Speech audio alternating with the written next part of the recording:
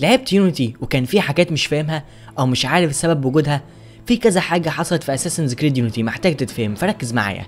زي مثلا ال Helix العصر الحديث ال Time Anomaly خطة Bishop الموظف في Unity ال Sage ال Sword of Eden الكتاب.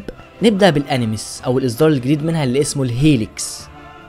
ال Helix برنامج مطور من Abstergo وبيسمح إنك تشوف ذكريات الأجداد بدون عينات الدم. الإصدار ده جديد واحدث من إصدار أوميجا الموجود في Black Flag نبدأ بالقصة. في بداية اللعبة هيحصل هجوم. Assassins هيهجموا على ال Templars على ال Grand Master اللي اسمه Jacques de Molay الهجوم كان عشان حاجة واحدة بس الكتاب. وزي ما شفتوا في اللعبة إن الشخص ال Templar ده هيخبي الكتاب وال Sword of Eden في مكان وبعدها هيتقتل من Assassin اسمه توماس اللي لازم تعرفه إن ال Assassin توماس جاي عشان الكتاب مش عشان حاجة تانية. يا ترى إيه اللي في الكتاب؟ للأسف محدش عارف بس أنا عارف. في بداية اللعبة أبو أرنو هيتقتل. أرنو ساعتها كان صغير عمره 8 سنين. وواحد من ال Templars رتبته grand master هيربيه اسمه دلاسير وبنته تبقى اليز اللي أرنو هيحبها بعد كده. هتحصل مؤامرة عشان ال Templars يقتلوا دلاسير وساعتها أرنو اللي هيلبسها. هيدخل السجن وهناك هيتعرف على واحد اسمه بيلك وكان يعرف أبوه وهيقول له إن أبوك كان Assassin. هيتصاحبوا على بعض لغاية ما يبقوا حبايب.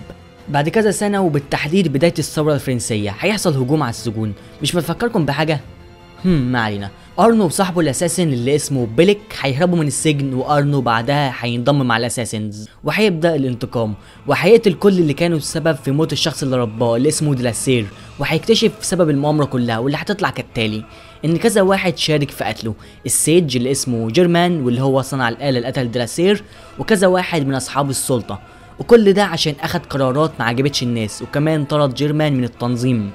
فطبعا جيرمان محبش ده فخطط وتكتك وجمع فريق وخططوا لقتله وكل ده عشان السلطة وإنه يسيطر على باريس. أرنو هيقتل واحد ورا واحد لحد ما هيعرف مؤامرة عشان يموتوا بنت دلاسير اللي اسمها إليز. إليز هتعرض هدنة سلام بينها وبين الأساسن عشان محدش من الأساسن يتعرض لها. بيلك الهارب مع ارنو في السجن محبش الكلام ده وحس إنها خدعة عاملاها ال Templars. فقتل معلم ال Assassin ميرابو. قتله عن طريق حطله السم في ال wine بتاعه. السم اللي حطه ده سم بيستخدموه كل ال Templars. وحط السم ده بالذات عشان ينسب الجريمة كلها لإليز. أرنو اكتشف الخدعة دي ومشي وراه لحد ما وصل لمكان بيلك هيحاربوا بعض وأرنو هيقتله. أحداث كتيره هتحصل أهمها الانقلاب على الملك لويس. جيرمان هيعمل الثورة الفرنسية وهيخلي الناس تكره الملك وكمان هيطالبوا بأعدامه. وكل ده عشان جاكس دومولاي اللي الملك حرقه في أول اللعبة. فجيرمان هينتقم من الملك بسبب حرقه لدومولاي. وعلى فكرة جاكس دومولاي ده من ال Sage برضه. أحداث كتير هتحصل. أرنو هيقتل اللي كانوا السبب في موت دلاسير واحد ورا التاني. الأحداث اللي هتحصل بعد كده. أرنو هيقابل جيرمان في المعبد ونفس المعبد اللي كان موجود في أول اللعبة لما ال Assassins هجموا على ال Templars أرنو هيشوف إن جيرمان معاه سيف خارق واللي هو ال Sword of Eden اللي صنعه الحضارة الأولى. وطبعا السيف ده ظهر في أول اللعبة أثناء الهجوم اللي حصل. فالشخص ال Templar ده هيخبي ال Sword of Eden والكتاب في vault سري. وبعد 400 سنة جيرمان هيلاقي ال vault السري ده وهيلاقي فيه الكتاب. لما ارنو هيقابل جيرمان في المعبد ارنو هيقتل جيرمان وهياخد السيف والكتاب هيفضل مكانه. العصر الحديث بقى بنلعب بشخص اسمه روبرت فريزر اللي الناس مش عارفاه واللي تعتبر الصدمة الكبيرة إن أساسا ذكريات ارنو دوريان ما كانتش هي المطلوبة في Unity. في بداية اللعبة لما هيطلع لك نظام ال Helix هتحدد أنهي ذكريات. طبعا ما كانش فيه غير أول اختيار واللي هو جاكس دومولاي. لما هتختارها هنكون بنتفرج على ذكريات واحد Templar هي دي بقى الذكريات اللي المفروض كنا نتفرج عليها طول اللعبة. ذكريات واحد Templar اسمه جاكس دومولاي. لكن اللي حصل بقى بيشوب كلمت الموظف اللي اسمه روبرت فريزر وقالت له هتتابع ذكريات واحد من ال Assassins اسمه أرنو دوريان. فده خلانا نسيب ذكريات جاكس دومولاي ونركز في ذكريات ال Assassin أرنو. نتابع الأحداث. بيشوب واحدة من ال Assassin. هتكلم واحد مش معروف شكله ولكن اسمه روبرت فريزر. وعلى فكرة في Abstergo البنت اللي مسؤولة عن روبرت فريزر هي نفس البنت اللي كانت موجودة في Black Flag هي نفس البنت اللي كانت مسؤولة عن الموظف في Black Flag اللي أنا قلت إنه ديزموند مايلز فده معناه إنهم في نفس المكان في مونتريال اللي ظهر في Black Flag العصر الحديث. والطريقة اللي بيشوب كلمت فيها روبرت فريزر هي نفس طريقة جون في Black Flag لما جون كلم الموظف. بس المرة دي فرقت إنها بقت صوت وصورة. لو ما شفتش الفيديو اللي بقول فيه إن الموظف في Black Flag هو ديزموند مايلز يا ريت تبقى تتفرج عليه هتلاقي الرابط في ال description تحت الفيديو. لما بيشوب كلمت الموظف روبرت فريزر قالت له إحنا محتاجين مساعدتك. قالت له Abstergo بتستغلك وال Assassins محتاجينك. واديته تصريح بإنه يتفرج على ذكريات أرنو دوريان.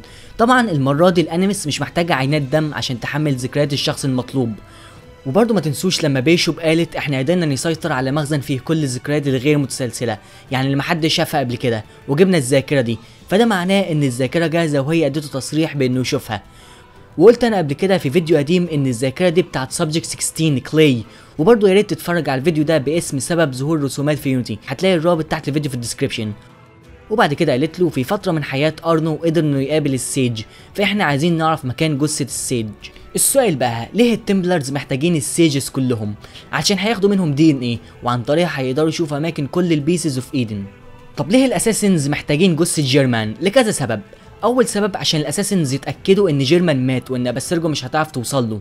السبب التاني عشان ال Assassins اللي يوصلوا لل Pieces of Eden الأول. وبرضه بيشوب قالت إحنا قتلنا كذا واحد من ال Sage بس Abstergo هتفضل تبحث عنهم. فال Assassins بيحاولوا يخفوا كل ال Sage عشان ال Assassins اللي يجيبوا ال Pieces of Eden الأول. وده طبعا هيسهل على ال Assassins لأنهم أخدوا كل الذكريات الموجودة في المخازن. والسبب التالت عشان يعرفوا مكان الكتاب. يا ترى الكتاب ده فيه إيه؟ الكتاب ده عبارة عن مخططات. الكتاب ده اللي كتبه ال Sage جاكس دومولي والكتاب ده كاتب فيه تفاصيل معرفته عن الحضارة الأولى وكمان كاتب أفكاره الشخصية عن نظام ال Templars وكمان كان كاتب خططه الثورة الفرنسية قتل دلاسير والملك لويس وكل ده عشان ينزعوا النظام الفرنسي وال Templars اللي سيطروا. فكل اللي عمله جيرمان ده كان مكتوب في الكتاب ودي كانت خطة جاكس دومولي. بس جاكس دومولي هيتحرق والخطط دي اللي هينفذها ال Sage اللي جه بعده اللي هو جيرمان. إيه هو ال time anomaly اللي كل شوية بيحصل؟ ال time anomaly عاملينه عشان يهربوا من هجمات Abstergo على ال Helix. Abstergo بتعمل هجمات عشان يخترقوا روبرت فريزر. فإحنا بنهرب أرنو لزمن تاني لحد ما الهجمات دي ما تخلص. في سؤال أنا عارف طبعا إن محدش هيسألهوني بس معلومة لازم تعرفها. ليه Abstergo بتتفرج على ذكريات جاكس دومولي وإزاي قدروا يشوفوها؟ بسبب الكتاب اللي خباه في ال vault ف Abstergo عايزة تعرف مكان الكتاب ده.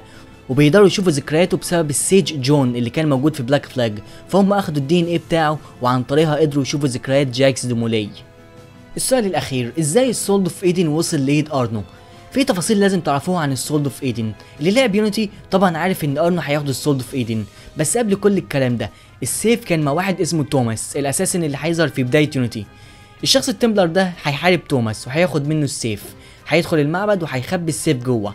بعد كده السيف هيتاخد. اللي هياخده واحدة بنت اسمها جون ديارك والدكتور وارن فيديك يبقى من أجدادها.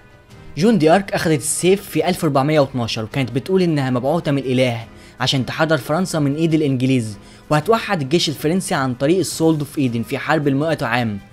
ال Templars هيحرضوا على قتل جون ديارك وطلعوا عليها إشاعة إنها ساحرة وجزاء السحرة هو الحرق. فال Templars حرقوها عشان ياخدوا منها ال Sword of Eden. بعد كده ال Sword of Eden راح لليابان وبعدها رجع تاني لفرنسا فهيلاقيه جيرمان واخده. أرنو هيحارب جيرمان وهيقتله وهياخد منه ال Sword of Eden وفي كده تكون انتهت قصة Assassin's Creed Unity لو عندكم أسئلة يا ريت تحطوها تحت في ال comments بس يا ريت تبقى ال comments بتاعت اليوتيوب عشان أعرف أشوفها وأرد عليها. وما تنسوش تفتحوا الروابط الموجودة تحت الفيديو في ال description هتلاقوا حاجات كتير عن Assassin's Creed وهتفيدكم جدا. شكرا على المشاهدة وأتمنى أنكم تزوروا صفحتي على الفيسبوك facebook.com slash nevermind hd كان معكم أحمد سوري see you next time.